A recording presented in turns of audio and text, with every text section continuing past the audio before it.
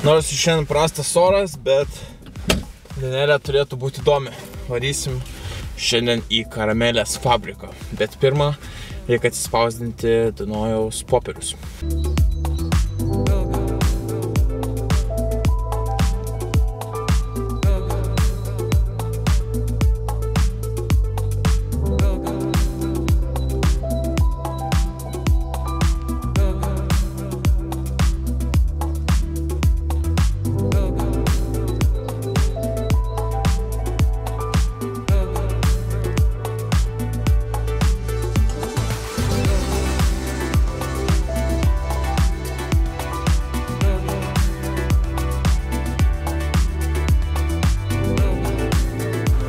Truputį pagalvojau, kad vėliau spausdinsim popierius, nes nėra laiko. Varom tiesiai į fabrikėlį. Šitoj mane pasitiks, bus įdomu. Bet pirmą reikės dar duoti, kadangi čia nais ES projektas, tai reikės duoti dar pasirašyti popierius, kad sutinka, kad būtų filmuojama. Tam dideliam puode, dar kol kas mes labai daug įrangos neturim. E, karamelę galbūt įsivaizduoju, kaip yra gaminama ir kas ją sudaro. Tai yra pienas, cukrus, grėtinėlė daugiausia. Mes naudojam kondensuotą pieną. E, jisai labai daug turi skonio ir dėl to ta karamelė yra tokia lengvai valgoma ir dažniausiai žmonės šaukštų iškabina visą stiklainį ir ne, negali sustoti. Tai va, tai viskas vyksta tam dideliam katile. Mes ten viską pasirašėm, tada verdam ir išpilstom į stiklainius. Mhm. E, kol kas viskas yra rankiniu būdu dar daroma ir užsukama dangtelį rankiniu būdu. Tikiuosi, kad ateityje pavyks ten plėstis ir turėti kažkokios įrangos daugiau. Ir čia yra mūsų dar vakumatorius toksai, jisai padeda e, dangtelius pritraukti, kad būtų tas toks klink, jeigu įsivaizduoji, kai atsuki kokią uogienę, kad tiesiog nepelytų ir, ir pavyktų Tai jūs e, čionais- saugot kokybę. Jūs šiandien kažkiek bendradarbiausit pačiu universitetu, ar E. jūs visiškai atskirai? Šiaip e, bendradarbiauti kažkiek reikėtų. E, Čia yra, e, aš laimėjau kaip konkursą šitas patalpas, nes tu negali kitaip universitete jų sinuomoti. Tai aš kadangi maisto technologijų studentė buvau, tai nu, tu gauni taškų dėl to. Ten, nu, naujas produktas, jauna įmonė ir tu Mhm. tiesiog aplikuoji, jie tenais žiūri, ar atitinki kriterijus ir arba duoda arba neduoda tas patalpas. Supratau. Tai va, tai iš esmės jo, tai su universitetu kažkiek bendradarbiauti reiktų, po naujų metų galvoju plėtrą naujiem produktam kurti, tai galbūt kalbinti kokius studentus, su dėstytojais bendrauti, nes pati laiko visiškai neturiu, vis galvoju apie tai, kad turėtų būti ne tik karamelio kažkas daugiau, bet, nu, negali tai prisėsti ir per dieną kažką padaryti. Bet, va, pavyzdžiui, vis tiek šita karamelė, tai jaučiu žiauriai didelė konkurencija yra tarp kitų produktų karamelės. Nežinau, matai, Lietuvoje nelabai kas gamina. Jo?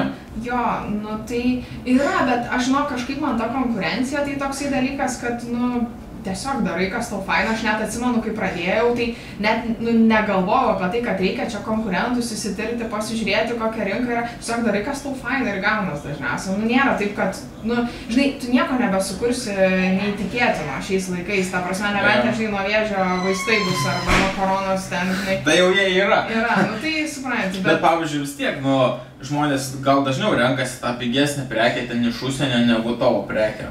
Nu, Jau žinok, dirbi. kažkaip tos lietuvius tai palaiko visai. Aš ypač karantino laikotarpiu, nu, žinai, kaip čia sako, kad čia verslam visai sunku buvo, man tai tas karantinas, tai, nu, ten wow, žinai, nu, ta prasme, tiesiog gal dėl to, kad internetinę priekybą Jo. vykdžiau ir vykdžiau seniau, žinai, tai man tiesiog nereikėjo, staigi, o čia reikia kurtis puslapį, jau nebežinau, ką daryti. Tai man tas augimas labai pasijuto. Šiaip ta Mhm. komunikacija žmonės labiau žiūri, labiau skrolina tą telefoną, neturi ką veikti, tai... Reklama sukasi. Jo, šiaip, kad palaikyti tos lietuviškus produktus. Žinai, aišku, kalėdų periodų tas pikas yra faktas, o dabar sakau, gaminam paletėm ir, žinai, tu stengiasi išnaudoti maksimaliai, nes pernai metais, nu, vėl, žinai, buvo gaila viską parduoti, absoliučiai pritrukau, žinai. Nu, ta prasme, šiemet norisi, kad to nebūtų, nu, bet tikėtina, kad vėl užsiemi daugiau, investuoji daugiau reklamai ir vėl tas pats, nu, tai tu nori kažkaip iš to išlipti, kad tu pasiek maksimaliai ir, žinai, kažkaip išjudėti tą užsienį. Jo. Tai, Tai nu, kol kas, kol kas prekė dar stovi Lietuvoje, ne? Apyvarta visa. Jo, apyvarta stovi Lietuvoje, nu turėjau šiais metais pirmoji parodoje Paryžiui sudalyvauti, kaip tik irgi buvau gavusi finansavimą dalinį. Tai jau ten susiplanavau, žinai, dvi savaitės Paryžiui, dar gal kažkur tai išvažiuot po to. Nu ir viskas, žinai, nuplaukė, tai stendų visokių prisipirkau, viską, nu tai žinai, nu stendus panaudosiu kažkur tais, nu bet toksai dabar. Kaziuko mokiai. Nu jo, jo. Čia mačiau yra pieniška, paskui kažkokios... Čia yra pieniška, čia yra sovietėm. Tada yra su šokoladu. E, turėtų būti su lasdyno riešutais. Ir turėtų būti su pipirmete. Bet su pipirmete. Ai va, čia yra su pipirmete. Nu va, tai iš esmės šitas. Ar aš dar turiu tokį vieną produktą be pridėtinio cukraus? Galiu irgi pat paragauti. Čia yra toks šokoladinis kremas, žinai, su beržų cukru. O, čia visa kolekcija. Jo, tai žinai, dabar kol kas šešis turim, tai va duosiu tada tau šaukštelį kokį. Kiek laiko būsi?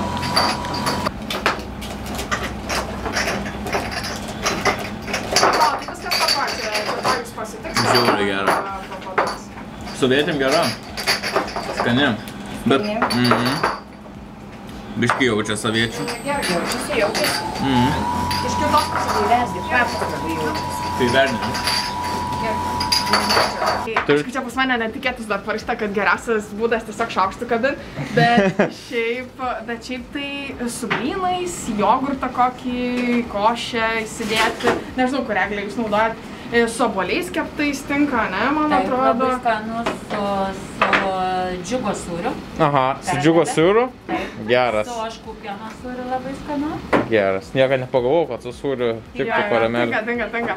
Daug Sūris- aš nepagalvoju, bet kai paragaunu, tai sako tikrai tik. Mhm. Taip, taip, taip. Ne visi gal, žinai, oško sūrį mėgsta, bet tikrai esu girdėjus, kad, kad, kad, kad labai skanu, žinai, su oško sūriu. Tai va, tai nežinau, ką čia dar. O nuo kada pradėjot visą šitą veiklą vystyti?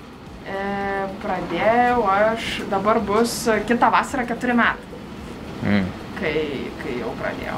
Tai jūs gavot kažkokio ES projekto finansavimą E, šitam Tai visam dalykui? dabar čia gavau ne per seniausiai, tai dar tik tais pradėjom e, viską ten daryti, tai dėl Dizainas LT e, programa vadinosi, tai iš esmės atsinaujinti etiketės, e, dar kursiuosi tokį įrankį elektroninį parduotuvėje dizaino, kadangi aš visai pas mane yra dovaninis produktas.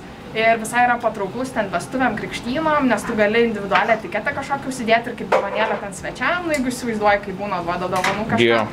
Tai e, tokį įrankį mes ten daromės, kad e, žmogus pats elektroniniai parduotuviai galėtų pasidaryti e, savo individualią etiketę, pats žinai, mane rašydamas, užsidėti, įsirinkti iš tam tikrų dizainų, pasirašyti savo tekstą, matyti iš karto kainą, spalvą pasikeisti, galbūt šriftą pasikeisti, žinai, Jo, jo. įsidėti krepšelį ir užsisakyti. Ir nereikėtų man, žinai, man tas bendravimas kaip ir atkristų. Mhm. Ir žmogui patogus, jį ten 3D taip pat galėtų sukioti tą stiklainį, matyti kaip atrodo. Tai dabar Greta, kur tavo karamelę galima nusipirkti? Maksimoj, Barboroje ir Rimi. Taip, ir dar mažose parduotuvėlėse visokiose, tai žinai dabar nevardinsiu, bet šiaip kanamel LT viskas surašyta yra. Kanamelo. Taip. Tvarkelį. Čia nais išėjimas? Jo, ši čia. Tvarkoj. Ačiū tau tada. Buvo Iki. smagu. Nu, Iki. čiau. Čia. Nu va, tai šiandien buvo tokia va idėja, susitik su Greta ir pažiūrėt, kaip jai sekasi vystyti šitą karamelės verslą Lietuvoje, bet kaip supratau, viskas eina gerin, po truputį plečiasi, tas smagu. Tai toks buvo pirmasis mano taškas šito ES projekto Green Trip.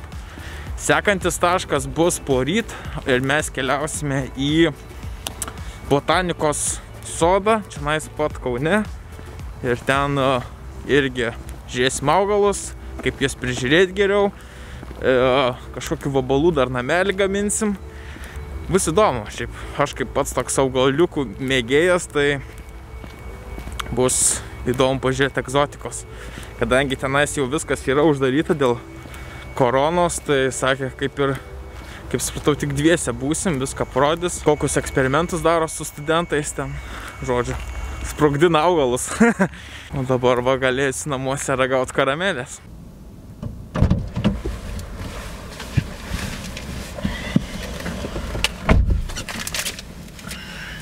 Dadam! Bam! Bam! Jo.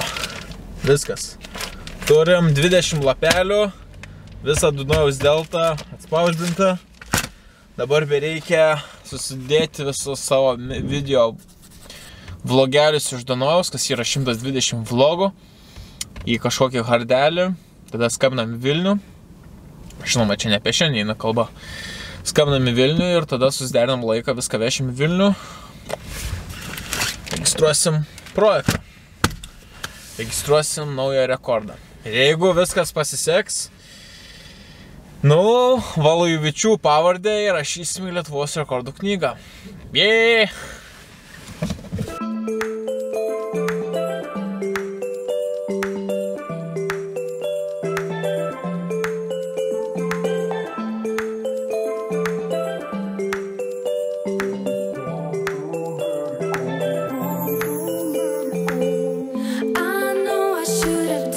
Nu ir nuo karamelės iki, iki džiovintos jautinos man mėsinga UAB atsiuntė pas, prasitestuoti, sako, mes norėtume kitai kelionį prisidėti. Tai paragavau tiek jautinos, tiek keulienos.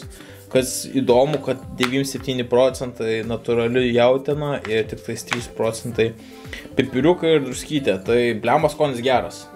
Biški čia saldžiau, čia nu jautina kaip jautina. Kas iš dalies žiauriai gerai, tas dry foodas, ypač keliaujant tokias visokias sudėtingas distancijas, keliones, kai neturiu tenais kažkokio didelio talpos, kur galėtum laikyti kažkokius savo produktus ar panašiai, tai va būtent tokie džiovinti maisteliai, žinoma, čia na, jis yra labai mažai, čia mes tik tais 30 gramų, bet kalbant apie tą sausą maistą, tai yra žiauriai, žiauriai patogu. Aš tą patį turėjau Dunojaus pradžioje, tai iš dalies dvi savaitės aš maitinausi tuom užpilu maistu, tenai susimaišo ryžiai, vištiena išdžiovinta, tai kai ten gaunas tą visą būzą, tai ten normaliai pavalgai.